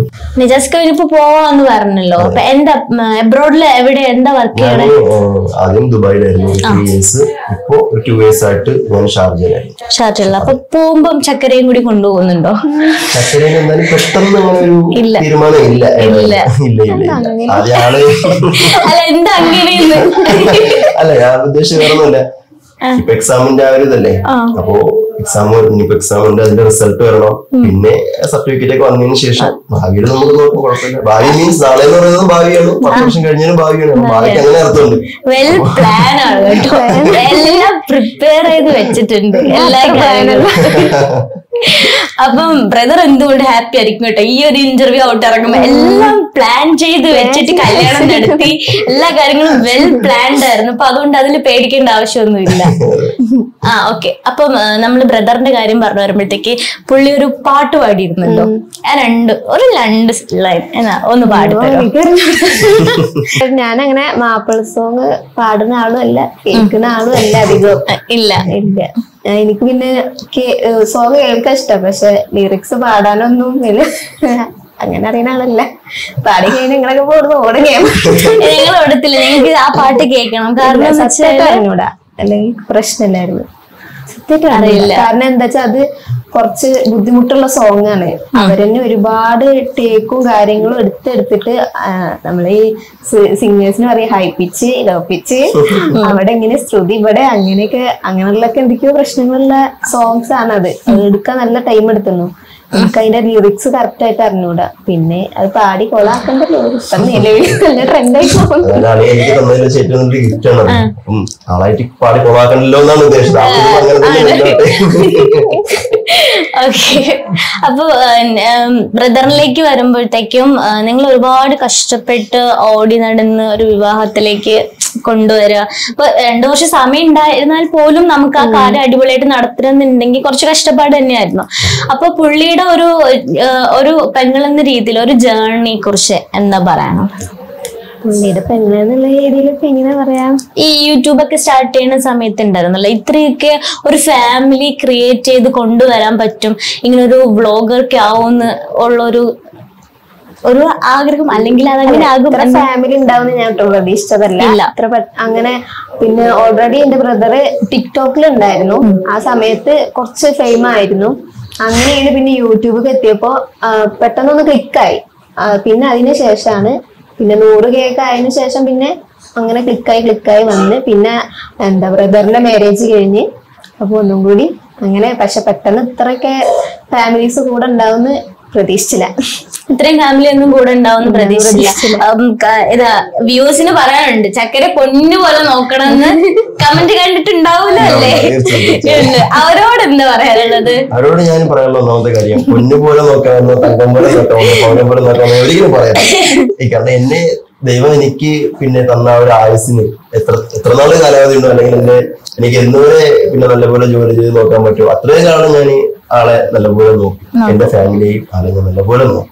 പിന്നെ ഇപ്പൊ നിങ്ങൾ പറഞ്ഞ പോലെ തന്നെ പൊന്നു പോലെയോ തങ്കം പോലെ നോക്കാവുന്ന അല്ലെങ്കിൽ പൊന്നു കൊണ്ട് മൂടാവുന്നോ നമുക്ക് ഒരിക്കലും പറയാൻ പറ്റില്ല. ഒരിക്കലും പറയത്തുമില്ല. ഒരു മിനിറ്റ്. അങ്ങനെ എപ്പോഴെങ്കിലും ഈ പ്ര- ഈ ലവ് ചെയ്ത സമയത്ത് പറഞ്ഞിട്ടുണ്ടോ? എപ്പോഴെങ്കിലും പറഞ്ഞിട്ടുണ്ടോ? ഉണ്ടല്ലോ. എന്തിനാ അങ്ങനെ ഞാൻ പറഞ്ഞത് വെച്ചാൽ കല്യാണം കഴിഞ്ഞു കഴിഞ്ഞ. ഇനി കഴിയണമല്ലോ. തീർച്ചയായിട്ടും വേണമല്ലോ അപ്പൊ എന്റെ ഭാഗത്തൊരു കുറവ് വരത്തില്ല ഞാൻ നല്ലപോലെ നോക്കിക്കോളാം. എന്നാ വിശ്വാസം നിനക്ക് ഉണ്ടെങ്കിൽ മാത്രം എനിക്ക് വാക്കുകൾ കൂടെ കൂടിക്കോ എന്നാണ് ഞാൻ തുടക്കത്തിൽ പറയുന്നത്. നമ്മളെ സ്റ്റാർട്ട് ചെയ്യുമ്പോൾ ഞാൻ പറഞ്ഞ കാര്യമാണ്. എൻഗേജ് ചെയ്യുന്നുണ്ടോ? അക്സെപ്റ്റ് ചെയ്യുന്ന സമയത്ത് അക്സെപ്റ്റ് ചെയ്യുന്നതിന് മുന്നേ ഒരുപാട് വാഗ്ദാനങ്ങൾ തന്നിട്ടുണ്ട്. ഞാൻ പൊന്നെ പോലെ നോക്കിക്കോളാം പവിഴം നോക്കിക്കോളാന്നൊക്കെ പറഞ്ഞിട്ടുണ്ട്. അല്ല അതൊരു മൂന്ന് വർഷം മുന്നേ. അല്ല നമുക്ക് എങ്ങനെയെങ്കിലും കാര്യത്തോടെ എടുക്കണമല്ലോ പക്ഷെ നിങ്ങൾ ഇപ്പൊ ഹാപ്പിയാണ്. അല്ലേ? ഇവർ ഹാപ്പിയാണ്. നിങ്ങൾക്ക് ആർക്കും ടെൻഷൻ വേണ്ട. ഒരു ഹാപ്പി ആയിട്ട് ഇങ്ങനെ ഇനി അങ്ങോട്ട് ഹാപ്പി ആയിട്ട് പോവാ. അപ്പോ ബ്രദറിന്റെ കാര്യത്തിലേക്ക് വരുമ്പോഴത്തേക്കും പുള്ളിയോട് യാത്ര പറഞ്ഞ് ഇറങ്ങുന്ന സമയത്ത് ഉണ്ടായിരുന്നല്ലോ അപ്പോ അതൊക്കെ നിങ്ങളുടെ നിൽക്കാന്ന് പറഞ്ഞ വലിയൊരു കാര്യമാണ്. കാരണം കഷ്ടപ്പെട്ട് സ്ട്രഗിൾ ചെയ്ത് കൊണ്ടുവന്നു. അപ്പൊ അവിടുന്ന് ഇനി അങ്ങോട്ട് പുതിയ ലൈഫ് തുടങ്ങുകയാണ് അപ്പൊ ആദ്യമായിട്ട് പുള്ളിയോട് പുള്ളി എങ്ങനെ അറിഞ്ഞത്? പറഞ്ഞിരുന്നു? അത് വേറൊരാൾ വഴിയാണോ അറിഞ്ഞത്? ഞങ്ങൾ എങ്ങനെയാണ്? ഞങ്ങൾ രണ്ടാളും എത്ര ഞങ്ങളൊന്ന് പ്രണയിച്ച് സെറ്റായി ഒരു രണ്ടാഴ്ച ആയിട്ടുണ്ടാവുള്ളൂ. ആ സമയത്താണ് വീഡിയോ കോൾ ചെയ്യായിരുന്നു ഒരു ഫംഗ്ഷന്റെ ഇടയിലെ വീഡിയോ കോൾ ചെയ്തിരുന്നു. ബ്രദർ ബാക്കിൽ കൂടെ വരുമായിരുന്നു കാക്കൂനെ കണ്ട്. പിന്നെ ഒന്ന് നോക്കില്ല ഫോൺ ഇങ്ങനെ എടുത്തുകൊണ്ട് അറിഞ്ഞുള്ളൂ പിന്നെ അത് നടക്കില്ല എത്ര ദൂരാണെങ്കിലും നടക്കില്ല അങ്ങനെയൊക്കെ പറഞ്ഞ് പിന്നെ കാക്കുമായിട്ട് സംസാരിച്ചു. പിന്നെ ഞാൻ വിളിച്ചു അവളെ വിളിച്ചു. വിളിച്ചപ്പോ എന്താ പറഞ്ഞേ? വിളിച്ചപ്പോ ആ ടൈം ആയിട്ട് പിന്നെ ആൾക്ക് എന്തായാലും മനസ്സിലായി. പറയാനുള്ളത് ഇവളോട് പറഞ്ഞിട്ടുണ്ടായിരുന്നു ഇത് നടക്കത്തില്ല മുന്നോട്ട് കൊണ്ട് പോകാൻ നിൽക്കണ്ട ഒഴിവാക്കിക്കോ എന്നൊക്കെ പറഞ്ഞായിരുന്നു. പക്ഷെ ഇവിടെ അതിന് പിന്മാറുന്നില്ല എന്ന് മനസ്സിലായി. ഞങ്ങൾ രണ്ടാളും കട്ടക്കന് നിൽക്കുന്നു മനസ്സിലായി. അങ്ങനെ ഇരിക്കെ വേണം. നമ്മളൊരു എൻഗേജ്മെന്റ് ടൈം എടുത്തപ്പോ അവളെ വിളിച്ചു കാര്യം പറഞ്ഞു. അതേപോലെ ഞാൻ വിളിക്കുന്നത് കൊല്ലത്ത് പേര് നിജാസിനാണെന്ന് പറഞ്ഞു. ആ ഓക്കെ പറഞ്ഞു. എന്ന് പറഞ്ഞു കാരണം ഞങ്ങളുടെ ഭാഗത്ത് ഞാൻ ഇങ്ങനെ റെസ്പോണ്ട് ചെയ്യുന്ന വിചാരിച്ചില്ല ഒരു വേറെ ടൈപ്പാണ് ഞാൻ വിചാരിച്ചത്. ചിലപ്പോ സംസാരിക്കാൻ താല്പര്യമില്ലാന്നോ അങ്ങനെ എന്തെങ്കിലും ഒരു പക്ഷെ ആൾ പറഞ്ഞു ആ ഓക്കെ മനസ്സിലായി പറഞ്ഞു എന്ന് പറയും. അപ്പൊ ഞാൻ പറഞ്ഞു ഇങ്ങനെയാണ് കാര്യം. പിന്നെ നിങ്ങളുടെ സ്നേഹിക്കാണ് പെങ്ങളായിട്ട് സ്നേഹത്തിലാണ്. അപ്പോൾ സംസാരിക്കാൻ വിളിച്ചതാണെന്ന് പറഞ്ഞു ഓക്കെ സംസാരിച്ചു എന്ന് പറഞ്ഞു. ഞാൻ കാര്യം പറഞ്ഞു. അപ്പൊ അതിൽ ആദ്യം ആൾ എന്നോട് ചോദിച്ചു വീട്ടിൽ ആരെങ്കിലും അപ്പയമ്മ ആരെങ്കിലും ഉണ്ടോ? വാപ്പുണ്ടെങ്കിൽ കൊടുക്കും ഞാൻ സംസാരിക്കാന്ന് പറഞ്ഞു. അപ്പൊ കൊടുത്തു. അപ്പൊ സംസാരിച്ചു. അപ്പൊ നമ്മൾ ആ എൻഗേജ്മെന്റിന്റെ കാര്യങ്ങൾ പ്ലാൻ ചെയ്യാൻ വേണ്ടിയിട്ടുള്ള ഒരു വിളിയായിരുന്നു. അതാണ് ഞാൻ അവരോട് ഫസ്റ്റ് വിളിച്ച് സംസാരിക്കുന്നത്. അപ്പൊ അവരോട് സംസാരിച്ചു. വീട്ടിൽ തന്നെ അവരോട് മുന്നേ പറഞ്ഞിട്ട് തന്നെയായിരുന്നു വിളിച്ചത്. അപ്പം ഇവളുടെ സൈഡിൽ നോക്കുമ്പോൾ ഇവിടെ അവിടെ കുറച്ച് കാര്യങ്ങളൊക്കെ റെഡിയാക്കി വെച്ചിട്ടുണ്ടായിരുന്നു. അതായത് ഇപ്പോ ഇന്നോ ഇന്നല്ലെങ്കിൽ നാളെ അല്ലെങ്കിൽ ഇന്നല്ലെങ്കിൽ നാളെ നാളെ നാളെ അല്ലെങ്കിൽ ഇങ്ങനെ ഒരു ദിവസത്തിനുള്ളിൽ ഞാൻ ഇവിടെ നിന്ന് വിളിക്കുമെന്ന് മുന്നേ അറിയിപ്പ് കൊടുത്തിട്ടുണ്ടായിരുന്നു.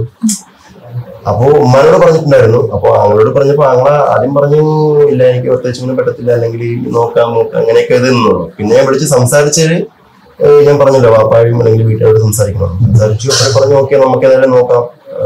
നിങ്ങളൊരു ദിവസം ഇങ്ങോട്ടേക്ക് പോരെന്ന് പറഞ്ഞു ഞാൻ കാണാൻ വേണ്ടിയിട്ട് അങ്ങനെ ഞങ്ങൾ അങ്ങോട്ട് പോയി. ആ ഒരു കൂടിക്കാഴ്ചയിൽ പിന്നെ അതേപോലെ തന്നെ അവിടെ നിന്ന് അവർ കുറച്ച് പേര് ഇങ്ങോട്ട് വന്നു. ആ ഒരു കൂടിക്കാഴ്ചയിലാണ് പിന്നെ ഇതൊരു കംപ്ലീറ്റ് ആവുന്നത് ഈ ഒരു കാര്യം കംപ്ലീറ്റ് ആവുന്നത് അപ്പോഴാണ്. അതുവരെയും കുറച്ച് സെർച്ച് അല്ലെങ്കിൽ ഒരു ഫിഫ്റ്റി ഫിഫ്റ്റി ചാൻസ് ആയിരുന്നു. അപ്പോൾ ഈ രണ്ട് കൊളാബിന് ശേഷം രണ്ട് ഫാമിലി തമ്മിലുള്ള കൊളാബിന് ശേഷമാണ് ഇത് ആക്സെപ്റ്റ് ചെയ്തത്. അപ്പം ആ, ആ, യാത്ര പറഞ്ഞിറങ്ങി. ആ, എന്തുകൊണ്ട് നോഫലേഡിനോ വൈഫിനോട് യാത്ര പറയില്ല പറയൂ ചക്കര അതൊരു ക്വസ്റ്റ്യൻ ആണ്. അല്ല എന്റെ ക്വസ്റ്റ്യൻ അല്ല നിങ്ങൾക്ക് ആരുടെ ക്വസ്റ്റ്യൻ മനസ്സിലായിട്ടുണ്ടാവും. അതുകൊണ്ട് കുറെ അവരോട് പറഞ്ഞിട്ടാണ്. ഞാൻ നമുക്ക് നമ്മുടെ ഒരു ചടങ്ങ് എന്ന് പറഞ്ഞാൽ നമ്മുടെ കുടുംബത്തിലാണെങ്കിലും നമ്മുടെ ഫ്രണ്ട്സ് ആണെങ്കിലും അവിടെ നിൽക്കുന്ന എല്ലാവരോടും നമ്മൾ പറഞ്ഞിട്ട് വേണം പുറത്തിറങ്ങാന്. അപ്പൊ അത്രയും വീട്ടിൽ അങ്ങനെയും നിൽക്കണ അങ്ങനെ പറയാതിരിക്കില്ലല്ലോ. പിന്നെ ചില വീഡിയോസിൽ ചില ആൾക്കാർ അത് വീഡിയോ എടുത്തിട്ടില്ല. ചില വീഡിയോസിൽ അതുണ്ട്. ഞങ്ങൾ രണ്ടാളും എന്താ യാത്ര പറഞ്ഞു പോണതൊക്കെ ഉണ്ട് ചിലതിലില്ല. ചില ആൾക്കാർ ചിലപ്പോ ആ വീഡിയോ കാണുമ്പോ പറഞ്ഞില്ല. അവരോട് പറഞ്ഞില്ല. പിന്നെ ഈ പറഞ്ഞ പോലെ തന്നെ വാപ്പാനോട് പറഞ്ഞില്ല. താത്താനോട് പറഞ്ഞില്ല. അങ്ങനെ പറയുന്നുണ്ട്. പക്ഷെ എല്ലാരോടും പറഞ്ഞിട്ടാണ് ഞാൻ അവിടുന്ന് യാത്ര ഇറങ്ങിയത്. എല്ലാരോടും പറഞ്ഞിട്ട് തന്നെയാണ്. അപ്പൊ എല്ലാവർക്കും അതിനൊരു ക്ലാരിഫിക്കേഷൻ കിട്ടിയെന്ന് ഞാൻ വിചാരിക്കുന്നുണ്ട്. നിങ്ങൾ അപ്പൊ അപ്പൊ മനസ്സിലായില്ലേ? നിങ്ങളുടെ കാര്യങ്ങളൊക്കെ തിരക്കാനും അറിയാനും ആകാംക്ഷയുള്ള കുറെ ആൾക്കാരുണ്ട്. കൂട്ടത്തിൽ. ഇപ്പൊ ഒരു കല്യാണത്തിൽ ഇപ്പൊ നിങ്ങൾ നമ്മൾ പറയാറുണ്ട് നമ്മുടെ കണ്ണെത്തിയില്ലെങ്കിലും. ബാക്കിയുള്ളവരുടെ കണ്ണെത്താറുണ്ട് അല്ലേ. അപ്പൊ ശരിക്കും ഈ ക്വസ്റ്റ്യൻസ് ഒക്കെ ഇരുന്ന് വായിച്ചപ്പോ എന്താ തോന്നിയത് ശരിക്കും? പ്രത്യേകിച്ചൊന്നുമില്ല. കമന്റ് ബോക്സ് എന്ന് പറയുന്നത് നമ്മുടെ കൺട്രോളിൽ വെക്കാൻ പറ്റുന്ന ഒരു കാര്യമല്ല നമുക്ക് നമ്മുടെ ഇഷ്ടത്തിന് യൂട്യൂബിൽ അല്ലെങ്കിൽ ഇൻസ്റ്റാഗ്രാമിലോ ക്രിയേറ്റർ എന്നുള്ള നിലയ്ക്ക് നമുക്കൊരു കണ്ടന്റ് ക്രിയേറ്റ് ചെയ്യാൻ നമുക്ക് അപ്ലോഡ് ചെയ്യാം. അപ്പൊ ബാക്കി ഇത് കാണണമോ വേണ്ടയോ എന്ന് തീരുമാനിക്കുന്നത് വ്യൂവേഴ്സ് ആണ് അല്ലെങ്കിൽ പൊതുജനങ്ങളാണ്. അപ്പൊ അവരെ കണ്ടിട്ട് അവർക്ക് അവരുടെ അഭിപ്രായം കുറിക്കാനാണ് എന്ത് ചെയ്യുന്നത്. താഴെ കമന്റ് ബോക്സ് എന്നുള്ളൊരു സംഭവം ഇൻസ്റ്റാഗ്രാമിലും യൂട്യൂബിലൊക്കെ അങ്ങനെ ഒരു ഫീച്ചർ കൊടുത്തേക്കണം അപ്പൊ ഉറപ്പായിട്ട് അവർക്ക് അത് കമന്റ് നല്ല പോസിറ്റീവ് കമന്റ് ചെയ്യാം നെഗറ്റീവ് ചെയ്യാം നമുക്ക് ആരെ റെസ്ട്രിക്ട് ചെയ്യാൻ പറ്റത്തില്ലല്ലോ. അപ്പൊ ഞാൻ എല്ലാ ദിവസവും കമന്റ് വായിക്കുന്ന ആളാണ്. ഇപ്പൊ കല്യാണത്തിന്റെ ആ ഒന്ന് ഒരു ദിവസമായിട്ട് കുറച്ച് തിരക്കുള്ളത് കൊണ്ട് കല്യാണത്തിന്റെ സ്വാഭാവികമായിട്ടുള്ള തിരക്കുള്ളത് കൊണ്ട് എനിക്ക് കണ്ടെത്താൻ പറ്റിയില്ല. ബാക്കിയൊക്കെ കമന്റുകളൊക്കെ ഞാൻ ഇന്നലെ ഇന്നൊക്കെ ആയിട്ട് വായിക്കുന്ന കമന്റ് വായിക്കുന്നുണ്ട്. കമന്റ് വായിക്കുമ്പോൾ തോന്നുന്നത് ഒന്നാമത്തെ കാര്യം ഒരുപാട് സന്തോഷം. കാരണം നമ്മളെ പിന്നെ വീഡിയോ ഇങ്ങനെ കാണാൻ അല്ലെങ്കിൽ നമ്മൾ ഓരോ കാര്യങ്ങളും സപ്പോർട്ട് ചെയ്യുന്ന ഒരുപാട് ആൾക്കാർ ഇട്ടേക്കുന്ന കമന്റ് നമ്മുടെ വീട്ടിൽ കല്യാണമായിട്ടാണ് തോന്നുന്നത്. അല്ലെങ്കിൽ നമ്മുടെ ജോലിയൊക്കെ മാറ്റി വെച്ചിട്ട് നമ്മൾ നിങ്ങളെ കല്യാണം കാണാൻ ഇരിക്കുന്നത് എന്നൊക്കെ കമന്റ് വായിച്ചപ്പോൾ പ്രത്യേകിച്ച് എന്തെന്നില്ലാത്ത സന്തോഷം. കാരണം നമ്മുടെ ഈ ഒരു പിന്നെ ഒരു കല്യാണം അല്ലെങ്കിൽ ഈ ഒരു ഫംഗ്ഷന് അവരവരുടേതായ ജോലിയുടെ തിരക്കൊക്കെ മാറ്റി വെച്ചിട്ട് അല്ലെങ്കിൽ അതൊക്കെ ഒന്ന് ഒഴിവാക്കി വെച്ചിട്ട് കാണാൻ ഇരിക്കുന്നുണ്ടല്ലോ എന്ന് ആലോചിക്കുമ്പോൾ ഒരു സന്തോഷമുണ്ട്. പിന്നെ കൂടുതൽ ആൾക്കാർ നല്ല പോസിറ്റീവ് കമന്റ് ആണ് നല്ല സപ്പോർട്ട് ചെയ്യുന്ന ഒരുപാട് ആൾക്കാർ ഒരുപാട് സപ്പോർട്ട് ചെയ്യുന്ന ആൾക്കാരുണ്ട്. കാരണം അതിൽ തന്നെ ഒരുപാട് പേര് പറയുന്നുണ്ട് നിങ്ങളുടെ ഈ വീഡിയോക്ക് വെയിറ്റ് ആയിരുന്നു വെയിറ്റിംഗ് വെയിറ്റ് ചെയ്ത് ഞാൻ ഇരിക്കായിരുന്നു. എവിടെ ചക്കര? ഇതാണ് ശരിക്കും ഹൈലൈറ്റ് ചെയ്ത് പറയാനുള്ളത്. ജാസിക്കൊക്കെ ഔട്ടായി എവിടെ ചക്കര എവിടെ എന്നാണ് ഇപ്പം ഇനി എനിക്ക് തോന്നുന്നു വേറൊരു നിങ്ങൾ ഇപ്പൊ ഒന്നിച്ചാണല്ലോ വീഡിയോ ചെയ്യുന്നത്. ഇനി ചക്കര വേറൊരു യൂട്യൂബ് ചാനൽ തുടങ്ങിയാലും ഈ ജാസിക്ക് തിരക്കൊന്നും എനിക്ക് തോന്നുന്നില്ല. കാരണം എല്ലാരും ഇപ്പൊ പുള്ളിയുടെ വീഡിയോയിലും വന്ന് ചോദിക്കുന്നത് എവിടെ എവിടെ? എങ്ങനെ എങ്ങനെയുണ്ട്? രാവിലെ എന്താ കഴിച്ചത്? രാവിലെ എന്താ ഉണ്ടാക്കിയത്? എന്നൊക്കെയുള്ള കാര്യങ്ങളൊക്കെ ആയിരുന്നു അപ്പൊ ഈ ഫുഡിന്റെ കാര്യത്തിൽ പ്രിപ്പറേഷൻ ഒക്കെ തുടങ്ങിയിട്ടില്ല എന്ന് പറയുന്നുണ്ട്. അപ്പോ എന്താ ആദ്യം ചായ കുടിക്കുന്നില്ല പകരം എന്താ എന്താ ജിഞ്ചർ ടീയോ കുടിക്കുന്ന ഒരു കുടിക്കുന്ന ഒരാളല്ല. ഞാൻ ജിഞ്ചർ ടീ കുടിക്കുന്നതാണ്. അല്ലെങ്കിൽ ഗ്രീൻ ടീ കുടിക്കുന്നതാണ്. ഇന്നും കുറച്ച് മുന്നേ അത് തന്നെ ഞാൻ കുടിച്ചത്. അപ്പൊ ഗ്രീൻ ടീ തന്നെയാണ് ഞാൻ രാവിലെ കുടിക്കുന്നത്. ചിലപ്പോൾ വൈകുന്നേരം നമ്മുടെ ടേസ്റ്റ് അനുസരിച്ച് ചിലപ്പോൾ കുടിച്ചാലായി. അത്രേ ഉള്ളൂ. രാവിലെ ജിഞ്ചർ ടീ അപ്പൊ ഇനി അങ്ങോട്ടുള്ള കുക്കിംഗ് വീഡിയോസും കാര്യങ്ങളൊക്കെ വരും. ആരും നിരാശപ്പെടേണ്ട എല്ലാ കാര്യങ്ങളും ഏറ്റവും വരുന്നതായിരിക്കും അല്ലേ? ആദ്യം ഒന്ന് പഠിച്ചു ഇവിടുത്തെ ഒന്ന് പഠിച്ചു വരട്ടെ അല്ല വലിയ ഡിഫറൻസ് ഉണ്ടോ? ഇല്ല. ഉണ്ടാവില്ല ചില കറികളിൽ മാത്രം ചെറിയ ഡിഫറൻസ് അത്രേ ഉള്ളൂ. പിന്നെ ചില കറികൾ എന്ന് പറയുമ്പോൾ അവിടെ ഉള്ളതും ഉണ്ട്. അങ്ങനെ ഒരു കറി ഇവിടെ നമ്മൾ ഇല്ലാത്തത് കറികളും ഉണ്ട്. അങ്ങനത്തെ കുറച്ച് ചെറിയ ചെറിയ മൈനർ ആയിട്ടുള്ള കുറച്ച്. പിന്നെ ഇവിടുത്തെ റിസപ്ഷൻ എന്ന് കഴിയട്ടെ? എന്നിട്ട് അതെ. കിച്ചണിലേക്ക് കിടക്ക. എന്നാണ് ആണ് ഫുൾ ബിസി അല്ലേ? ഇപ്പം അപ്പൊ എങ്ങനെയാണ് ഈ വീഡിയോസ് ഒക്കെ നിങ്ങൾക്ക് എടുക്കാനും ഒക്കെ ടൈം കിട്ടാറുണ്ടോ? അതോ ഭയങ്കര ടൈം കിട്ടാറുണ്ടോ എന്ന് ചോദിച്ചാൽ ശരിക്കും ടൈം കിട്ടാറില്ല. പക്ഷെ നമ്മൾ സമയം കണ്ടെത്തുന്നത് കാരണം നമ്മുടെ വീഡിയോ കാണാൻ ഞാൻ ആദ്യം പറഞ്ഞ പോലെ തന്നെ ഒരുപാട് ആൾക്കാർ വെയിറ്റ് ചെയ്യണമല്ലോ. അപ്പോൾ അവർക്ക് നമ്മൾ നമ്മുടേതായ ഒരു വില നമ്മൾ കൊടുക്കണം. കാരണം നമ്മളിപ്പോ ശരിക്കും കല്യാണത്തിന്റെ തിരക്കിലാണ് കാര്യങ്ങളൊക്കെയാണ്. പക്ഷെ അവർക്ക് നമ്മളൊരു വില അല്ലെങ്കിൽ നമ്മുടെ ഒരു പത്ത് മിനിറ്റ് അല്ലെങ്കിൽ പതിനഞ്ച് മിനിറ്റ് വീഡിയോ ഏറിപ്പോയി കഴിഞ്ഞാൽ അവരെ കാണാൻ കാത്തിരിക്കുന്ന ഒരുപാട് പേരുണ്ട്. ഒട്ടും ജാടയില്ലാത്ത ആൾക്കാരാന്ന് പറയുന്നുണ്ട് അല്ലെ? ചില നമ്മളിപ്പം ഇത്രയും ഒരു ഇത്രയും ആൾക്കാർ വന്ന് നിങ്ങളെ മാരേജിനൊക്കെ പങ്കെടുക്കണം എന്നുണ്ടെങ്കിൽ അല്ലെ? ഒരു വലിയ കാര്യം തന്നെയാണത്. അപ്പൊ അതിൽ ഒരുപാട് സന്തോഷമുണ്ട്. അപ്പൊ ഇനി ഒരുപാട് പേര് ചോദിക്കുന്നുണ്ട് എന്താണ് നിജാസിക്ക് അത്രയും ഫിനാൻഷ്യലി ഉള്ള ഒരാളായത് കൊണ്ടാണോ ചക്കര ഈ കല്യാണത്തിന് അത്രയും സ്റ്റിക്ക് ഓൺ ചെയ്ത് നിന്നിട്ടുള്ള ഒരു ക്വസ്റ്റ്യൻ ഒക്കെ ഉണ്ടായിരുന്നു. അപ്പൊ അതിന് അതിനെ കുറിച്ച് എന്താ പറയാനുള്ളത്? ശരിക്കും അങ്ങനെയാണോ നിന്നത്? അങ്ങനെയാണോ നിന്നത്. പറയൂ.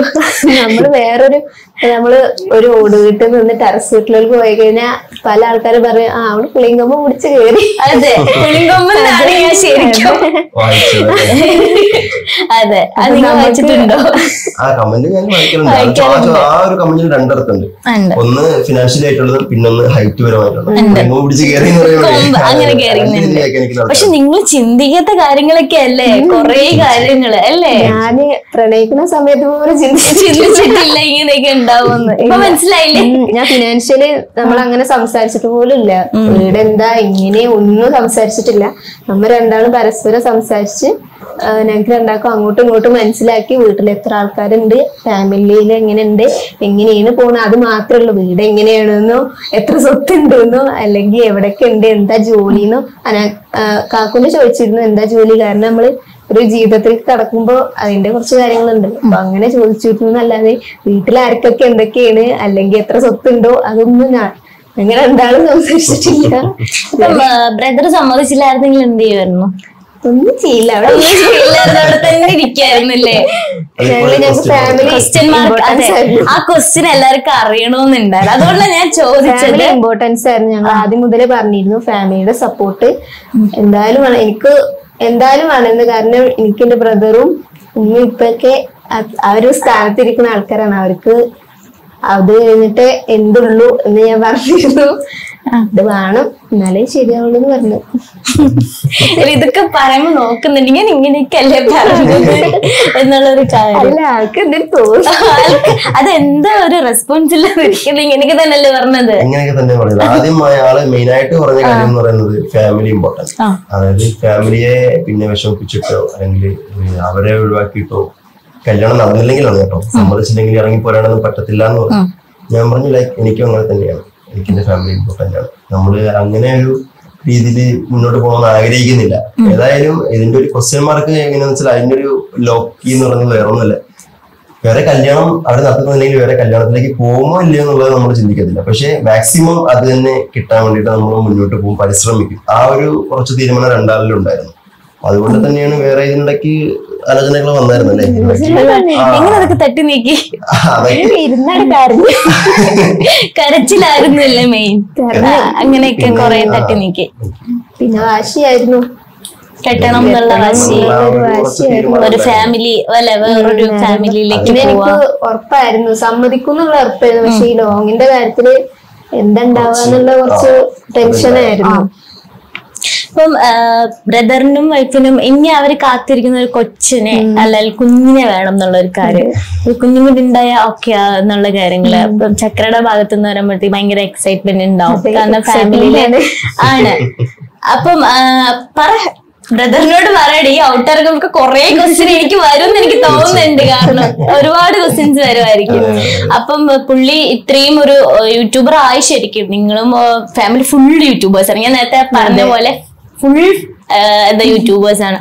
അങ്ങനെ വരുമ്പോഴത്തേക്കും ഒരു യൂട്യൂബർ എന്ന നിലയിൽ നമ്മൾ പുറത്തോട്ടൊക്കെ ഇറങ്ങി നിങ്ങൾ എപ്പോഴും ചിന്തിച്ചിട്ടുണ്ട് ഇത്രയും നിലയിലൊക്കെ നമ്മൾ പെട്ടെന്ന് വരും എന്നുള്ള ഒരു കാര്യം? എന്നിട്ട് പോലും ചാടില്ലാത്ത ഒരു കപ്പിൾസ് എന്ന് പറയുന്നുണ്ട്. ബ്രദറിന് ഇങ്ങനെ തന്നെയാണ് പറയുന്നത്. അപ്പം രണ്ടുപേരുടെയും ഇത്രയും സപ്പോർട്ട് കിട്ടുക കിട്ടാന്ന് പറയുന്നത് വലിയ കാര്യമാണ്. നമ്മൾ അല്ലെ സോഷ്യൽ മീഡിയയിൽ ഇത്രയും സപ്പോർട്ട് കിട്ടുക എന്ന് പറഞ്ഞാൽ വലിയ കാര്യമാണ്. അപ്പൊ അതൊക്കെ എങ്ങനെയാണ് നിങ്ങൾക്ക് അക്സെപ്റ്റ് ചെയ്തത്? അതായത് ഇപ്പോ പിന്നെ നമ്മൾ ചാടെയുള്ള ആൾക്കാരാണ് അല്ലെങ്കിൽ ഒന്ന് തീരുമാനിക്കുന്ന ഒരിക്കലും നമ്മൾ ശരിക്കും കാണുന്ന ആൾക്കാരാണ് അപ്പൊ നമ്മൾ ഒരാളോട് കാണുമ്പോൾ നമ്മൾ നോക്കി ചിരിച്ചാൽ നമ്മൾ സ്വാഭാവികമായിട്ട് നോക്കി ചിരിക്കും അല്ലെങ്കിൽ ഷേക്കാന്റെ എന്നാലോ നമ്മൾ ചിരിച്ചതിന്റെ റെക്കോർഡ് എടുക്കാം. നമ്മളൊരു മര്യാദയുടെ ഭാഗമാണ്. അപ്പൊ നമ്മൾ അങ്ങനെ ചെയ്യുന്നു. അല്ലാതെ പ്രത്യേകിച്ച് ഇപ്പൊ നമ്മൾ മൈൻഡ് ചെയ്യാതിരിക്കോ അങ്ങനെ നമ്മൾ ഒരിക്കലും ചെയ്യേണ്ട കാര്യമില്ലല്ലോ. അപ്പൊ അങ്ങനെ നമ്മൾ എല്ലാവരോടും റെസ്പോൺസ് ചെയ്യുമ്പോൾ നമ്മൾ റെസ്പോൺസ് ചെയ്യുന്നു. അത്രേ ഉള്ളൂ ആ ഒരു ഭാഗത്ത് എനിക്ക് പറയാനുള്ളത്. അപ്പൊ എല്ലാവരുടെയും ക്വസ്റ്റ്യൻസിനുള്ള ആൻസർ വൺ ബൈ വൺ ആയിട്ട് ചക്കരയും പറഞ്ഞിട്ടുണ്ട് അത് നിജാസിക്കയും പറഞ്ഞിട്ടുണ്ട്. ഇനി ആരുടെ എന്നാലും ചോദ്യം കേട്ടോ നാളെ വന്ന് ചോദിക്കുന്ന ആൾക്കാരുണ്ടായിരിക്കും. അതെ, ഇപ്പോൾ ബോധപ്പെട്ട ഏഹ്, പിന്നെ പ്രേക്ഷകരുടെ ഒരു പീക്ക് ചോദ്യങ്ങൾ മാത്രമേ നിങ്ങൾ കവർ ചെയ്തിട്ടുള്ളൂ. ഇതിനിടയിലുള്ള വേറെ ചോദ്യങ്ങളുണ്ട്. പക്ഷെ ഞാൻ പറഞ്ഞില്ല ഒരുപാട് സപ്പോർട്ടേഴ്സ് ഉണ്ട് നിങ്ങൾക്ക് ആ ഒരു വീഡിയോ നിങ്ങൾ എല്ലാ വ്ളോഗിന്റെ ഇന്നലെ തന്നെ ഇട്ടുന്ന വ്ളോഗിന്റെ കാരണം കല്യാണം കഴിഞ്ഞിട്ട് പിറ്റേ ദിവസമാണ് വന്നേ ഇങ്ങനെ വന്നുള്ളൂ റിസപ്ഷനൊക്കെ ഇനി ഉണ്ട് എന്നൊക്കെ പറയുമ്പോൾ ഓരോ ആൾക്കാർക്കും വെയിറ്റ് ആണ് നിങ്ങളുടെ വീഡിയോ കാണാൻ. അല്ലേ? അത്രയും ആൾക്കാർ കൂടുതലും വെയിറ്റ് ചെയ്തത് ഇവിടെ ഞാൻ അവിടെ നിന്ന് കല്യാണം കഴിഞ്ഞിട്ട് കൊണ്ടുവന്നിട്ട് ഒരു ഫസ്റ്റ് ഡേ ഇംപ്രഷൻ എന്തായിരുന്നു വീഡിയോ ഒക്കെ ആയിരുന്നു. അപ്പൊ ഇന്നലെ ഒരുപാട് ആൾക്കാർ പിന്നെ കമന്റ് ചെയ്തായിരുന്നു. അതായത് ഇന്നലെ ഞാൻ പോസ്റ്റ് ചെയ്ത വീഡിയോ എന്ന് പറയുമ്പോൾ നമ്മുടെ കല്യാണത്തിന്റെ രണ്ട് മൂന്ന് വീഡിയോസ് ആണ് അപ്പൊ അതിൽ ഒരുപാട് ആൾക്കാർ ചോദിക്കുന്നു കല്യാണമൊക്കെ നമ്മൾ ഒരുപാട് യൂട്യൂബേഴ്സിൽ കണ്ടതല്ലേ? ഇപ്പൊ ഇനി അവളവിടെ എത്തിയോ? അല്ലെങ്കിൽ അവിടെ എത്തിയിട്ട് ആളെങ്ങനെയാണ്? ഫസ്റ്റ് ദിവസം ഓക്കെ ആണോ അവിടെ എന്തൊക്കെയാണ് വിശേഷങ്ങൾ? അറിയാൻ ഒരുപാട് ആൾക്കാർ പാലക്കാട് നിന്ന് കൊല്ലത്തിലെ ട്രാവൽ എങ്ങനെ ഉണ്ടായിരുന്നു? നല്ല വെയിറ്റ് ഉള്ള ഡ്രസ്സാന്ന് ജസ്റ്റ് ആ വീഡിയോയിൽ പറയുന്നുണ്ട്. നല്ല വെയിറ്റിലാണ് സിമ്പിൾ ആയിട്ട് വന്ന് കേറി എന്നൊക്കെ പറഞ്ഞിട്ടുണ്ടായിരുന്നു. ഇത്രയും പറയാൻ പറ്റില്ലല്ലോ. ഞാൻ സെലക്ട് ചെയ്ത ലൈഫാണ് ഒന്നും പറയാൻ പറ്റില്ല. തൃശ്ശൂർ എത്തിയപ്പോ ഡ്രസ്സ് ചേഞ്ച് ചേഞ്ച് ചെയ്തു. അവിടുന്ന് മാറ്റാൻ പറ്റില്ല. കാരണം അവിടുന്ന് മാറ്റാന് കുറച്ച് ബുദ്ധിമുട്ടായിരുന്നു. കാരണം നമുക്ക് സമയം വൈകി പോവുകയാണ്. പിന്നെ കുറച്ച് ആൾക്കാർ നമ്മൾ ഇറങ്ങാൻ വേണ്ടിയിട്ട് വെയിറ്റ് ചെയ്യാണ്. അപ്പൊ അവിടുന്ന് മാറ്റാനുള്ള ബുദ്ധിമുട്ടുകൊണ്ട് പിന്നെ ഞങ്ങൾ വരുന്ന വഴിക്ക് തൃശ്ശൂരിൽ വെച്ചിട്ട് ഞങ്ങൾ രണ്ടാളും ഡ്രസ് ചേഞ്ച് ചെയ്തു. ചേഞ്ച് ചെയ്തിട്ടൊക്കെയാണ് വന്നത്. അപ്പൊ അത്രയും ഭയങ്കര ഒരു കഷ്ടപ്പാടായിരുന്നു അല്ലേ ഒരു ട്രാവലിംഗിന്റെ പ്രശ്നം ഒഴിച്ചു കഴിഞ്ഞാൽ എല്ലാം കാര്യങ്ങളും ഓക്കെ ആയിരുന്നു പിന്നെ അങ്ങോട്ടുള്ള റിസപ്ഷൻ കാര്യങ്ങളൊക്കെ എങ്ങനെയാണ്? റിസപ്ഷൻ റിസപ്ഷൻ എന്ന് പറയുമ്പോൾ ഇത്രയും ദൂരം വരുന്നത് കൊണ്ട് ഇവരവിടെ വെച്ചിട്ടായിരുന്നു നമ്മുടെ ആദ്യത്തെ കല്യാണം. അപ്പൊ ഇവരവിടുത്തെ കല്യാണത്തിന് ഞങ്ങളുടെ നിന്ന് വളരെ ചുരുക്കം പേര് പോയിട്ട് നിക്കാഹ് ചെയ്തിട്ടാണ് കൊണ്ടുവന്നത്. അപ്പൊ ഇനി ഒരു രണ്ടു ദിവസം കഴിഞ്ഞിട്ട് നമ്മളെ ഇവിടെ വെച്ചിട്ടൊരു ഫംഗ്ഷൻ വരുന്നുണ്ട്. അപ്പൊ അതിൽ ഇവിടുത്തെ നമ്മുടെ നമ്മുടെ ഫ്രണ്ട്സ് അതേപോലെ തന്നെ നാട്ടുകാരി അയൽവാസികൾ അതേപോലെ ഫാമിലി റിലേറ്റീവ്സ് എല്ലാവരും കൂടിയിട്ട് ഇവിടെ വെച്ചൊരു നല്ല പരിപാടി നമ്മൾ പ്ലാൻ ചെയ്യുന്നുണ്ട്. അപ്പൊ ഇതേ ദിവസം തന്നെ ആളുടെ ഇവിടെ നിന്നും കുറച്ച് ആൾക്കാർ നമ്മുടെ നാട് നമ്മുടെ പരിസരം കാണാൻ വേണ്ടിയിട്ട് കുറച്ച് ആൾക്കാർ ഇങ്ങോട്ട് വരും. അപ്പൊ അതാണ് നിലവിലുള്ള റിസപ്ഷൻ നമ്മൾ ആ ഒരു പ്ലാൻ ചെയ്യുന്നത്. ഉം. വിവാഹത്തിന് ശേഷം ഒരു വീഡിയോ കോൾ വിളിച്ചിട്ടുണ്ടായിരുന്നു. ഒരു അല്ലേ? അപ്പൊ കൊറേ ചിരിച്ചു കണ്ട് കൊറേ എന്താണ് അല്ലെ ഫാമിലിയിൽ ചിരിച്ചു കണ്ടത് അപ്പോഴൊക്കെയാന്നൊക്കെ പറഞ്ഞിട്ടുള്ള ഒരു കാര്യങ്ങളൊക്കെ ഉണ്ടായിരുന്നു. ശരിക്കും അവർ ഭയങ്കര ഹാപ്പി ആയിരിക്കും. ഇല്ലേ? ആദ്യം അക്സെപ്റ്റ് ചെയ്തില്ല എന്നുണ്ടെങ്കിലും ഹാപ്പി ആയിരിക്കും. അവർ ഹാപ്പിയാണ് അപ്പൊ ഈ ഒരു അവസരത്തിൽ ഫാമിലിയോട് എന്താ പറയാനുള്ളത്? ഫാമിലിനെ മിസ് ചെയ്യുന്നുണ്ട്. അല്ലെങ്കിൽ എന്താ പാലക്കാടേക്ക് പോണേ? പാലക്കാട് വിരുന്ന് ഇവിടുത്തെ റിസപ്ഷൻ കഴിഞ്ഞ ഒരു വൺ വീക്ക് എടുത്തിട്ട് പോകുന്നുണ്ടാവുക എനിക്ക് പോവും. ഇതിനിടയ്ക്ക് നമ്മുടെ ഫാമിലി തന്നെ കുറച്ച് ഫംഗ്ഷനുകൾ കുറച്ച് പരിപാടിയൊക്കെ വരുന്നുണ്ട്. അപ്പൊ ഇതിനിടയ്ക്കും അങ്ങോട്ട് വിരുന്നിന് അവർ വിളിച്ചിട്ടുണ്ട് അപ്പൊ അതിന് നമ്മൾ ആദ്യം അറ്റൻഡ് ചെയ്യണമല്ലോ. കാരണം ആദ്യം ഇവരെ പിന്നെ വൈഫ് വൈഫ് ഹൗസിൽ വിരുന്ന് കഴിഞ്ഞാലേ നമുക്ക് പിന്നെ വേറെ എവിടെയും വിരുന്നിന് പോകാൻ കഴിയുള്ളൂ. അപ്പം ആദ്യം തന്നെ നമ്മൾ അത് അറ്റൻഡ് ചെയ്യേണ്ട ഒരു നമ്മുടെ മെയിൻ കാര്യമാണ് ഒരുപാട് അങ്ങോട്ട് ഡിലേ വരാൻ പാടില്ലല്ലോ കല്യാണം കഴിഞ്ഞിട്ട്. അപ്പൊ അതുകൊണ്ട് നമ്മുടെ റിസപ്ഷൻ കഴിഞ്ഞ ഒരാഴ്ചക്കുള്ളിൽ അങ്ങോട്ട് പോകണമെന്ന് വിചാരിക്കുന്നുണ്ട്. ഇല്ല ഇപ്പം നിജാസ്കയ്ക്ക് ബ്രദർ സിബ്ലിങ്സ് ആയിട്ട് അങ്ങനെ ആരൊക്കെയാണ്? അനുജനാണ്. പുള്ളിയും വേറൊരു ഡിസ്ട്രിക്റ്റിൽ നിന്ന് കല്യാണം കഴിച്ചു കഴിഞ്ഞാൽ ബ്രദർ എന്തായിരിക്കും പ്രതികരണം? ബ്രദർ എന്തായിരിക്കും? പറയാ ആളെടുത്തിട്ടുണ്ടല്ലോ എന്തായിരിക്കും പ്രതികരണം? ഇല്ല ആരോട് പ്രത്യേകിച്ച് ഞാൻ പറയാനൊന്നുമില്ല. കാരണം ഞങ്ങളുടെ റിലേഷൻ എന്ന് പറഞ്ഞാൽ ലവ് റിലേഷൻ ആണല്ലോ അത് എല്ലാവർക്കും അറിയാം. അപ്പൊ ഒരിക്കലും നമുക്ക് റെസ്പെക്ട് ചെയ്യാൻ പറ്റത്തില്ല. ലവ് ആണ് അതങ്ങനെ പോകരുത് പറയാൻ പറ്റില്ല കാരണം ഞാനും അങ്ങനെ തന്നെ ചൂസ് ചെയ്ത ആളാണ് അനിയെ സപ്പോർട്ട് ചെയ്തിട്ടുണ്ടായിരുന്നു. അപ്പൊ വേറൊരു സ്ഥലത്ത് നിർത്തി കഴിഞ്ഞാൽ പ്രത്യേകിച്ചൊന്നും പറയാൻ നിൽക്കത്തില്ല അപ്പൊ ഞാൻ അങ്ങനെ ചിന്തിക്കല്ലോ? അതായത് ചേട്ടൻ ഇങ്ങനെ ഇത്ര ദൂരം തന്നെ എടുത്തത് അപ്പൊ ഇനി അത് കഴിഞ്ഞ് പോണോ? അല്ലെങ്കിൽ പാലക്കാട് കഴിഞ്ഞിട്ടൊരു ജില്ലയാണോ? പാലക്കാടിന് താഴെ ജില്ലയാണോ? ഇനിയിപ്പോ അങ്ങനെ ഉണ്ടെങ്കിൽ അവർക്കല്ലേ അറിയാൻ പറ്റും പാലക്കാട് വരെ. അതിനുള്ളിൽ സേഫ് ആണ് അനിയൻ അല്ലേ? അല്ല അതിന് താഴത്തേക്കാണെങ്കിൽ ചേട്ടനും പറയാലോ ചേട്ടൻ പാലക്കാടല്ലേ. എനിക്ക് അതിന് താഴെ എല്ലാ ആ ഒരു പറയാൻ പറ്റും. ഒരു- ഒരു ചാൻസ് ഉണ്ട്. ശരിക്കും ലോക്കാണ് എല്ലാ ആൾക്കാരും അല്ലേ? ഇനിയിപ്പോ ഒന്നും പറയാൻ പറ്റത്തില്ല. ലോക്കായിട്ടിരിക്കുകയാണ് എല്ലാം ബ്രദർ നടത്തി തരും എന്നുള്ള പ്രതീക്ഷയിൽ അനിയൻ ഉണ്ടായിരിക്കും. അല്ല ഫാമിലി അച്ഛനും അമ്മ അല്ലാതെ ഫാമിലി ഫുൾ ആയിട്ട് വരുമ്പോഴത്തേക്കും പറഞ്ഞു എന്തെങ്കിലും ഒരു അയ്യോ ഇത്രയും ദൂരം വരെയാണ് ഫാമിലി ഫുൾ ആയിട്ട് എടുക്കുമ്പോ അങ്ങനത്തെ എന്തെങ്കിലും കാര്യങ്ങൾ ഉണ്ടായിട്ടുണ്ടോ? നിങ്ങളുടെ അച്ഛനും അമ്മ അല്ലാണ്ടുള്ള ഫാമിലി ഫുള്ള് ഇങ്ങനെ നമ്മളെ റിലേറ്റീവ്സ് ഒക്കെ പറയില്ലേ? ഇത്രയും ദൂരം. നിങ്ങളുടെ ഫാമിലി വേറെ എങ്ങനെ ദൂരെ ലോങ് ഡിസ്റ്റൻസ് അങ്ങനെ വേറെ ആരുടെയും വിവാഹം ഉണ്ടോ. ഫസ്റ്റ് ആണ്? ഫസ്റ്റ് ഇത്രയും ദൂരം ഫസ്റ്റ് ആണ്. ഉണ്ടായിട്ടുണ്ട്. അപ്രോക്സിമേറ്റ് ഒരു നൂറ് കിലോമീറ്റർ അതിനുള്ളിൽ. പക്ഷെ ഇത്രയും ഒരു ഡിസ്റ്റൻസ് ഇയർ ലോങ് പക്ഷെ അതൊരു ജേർണി തന്നെയാണ് അല്ലേ അതൊരു എക്സ്പീരിയൻസ് ആണ്. നമുക്ക് പെട്ടെന്ന് വേണമെങ്കിൽ അല്ലേ പാലക്കാട് പോവാം. പെട്ടെന്നല്ല പാലക്കാട് എക്സ്പ്ലോർ ചെയ്യാൻ വേണമെങ്കിൽ നമുക്ക് അങ്ങോട്ട് പോവാം അല്ലേ? അങ്ങനെയൊക്കെ. കുറെ കാര്യങ്ങളൊക്കെ ഉണ്ട്. അപ്പൊ ഞാൻ ഇത്രയും നേരം ചോദിച്ചു ചക്കരക്ക് ഇവിടെ ഇഷ്ടപ്പെട്ടു എന്ന്. പാലക്കാട് ഇഷ്ടപ്പെട്ടു. പാലക്കാട് ശരിക്കും എത്ര പ്രാവശ്യം പോയിട്ടുണ്ട് ഇപ്പൊ പറ. പാലക്കാട് എന്ന് സ്ഥലം എനിക്ക് ഒരുപാട് ഇഷ്ടപ്പെട്ട സ്ഥലമാണ്. കാരണം ആളെ സ്നേഹിക്കുന്നതിന് മുന്നേ ആയാലും പാലക്കാട് എനിക്ക് നല്ല ഇഷ്ടമാണ് കാരണം അവിടുത്തെ ആ ഒരു അറ്റ്മോസ്ഫിയർ കാര്യങ്ങളൊക്കെ എനിക്ക് നല്ല ഇഷ്ടമാണ്. അപ്പോ ആളെ സ്നേഹിച്ചതിന് ശേഷം ഞാൻ ഒരു നാലഞ്ച് പ്രാവശ്യമായിട്ട് ഞാൻ പോയിട്ടുണ്ട്.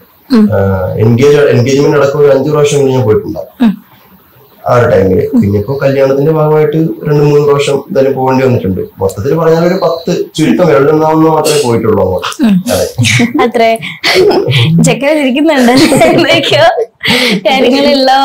എനിക്ക്